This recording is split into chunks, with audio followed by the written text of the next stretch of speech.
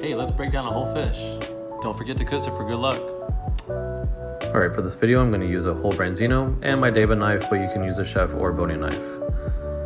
Begin by drying off your fish inside and out. Then place on a paper towel with the fish head facing right, and your first cut is going to be at an angle just behind the gills. Flip your fish over, then cut through the backbone and discard the head. Flip your fish over to where the fish head would be facing right, and begin by cutting the belly.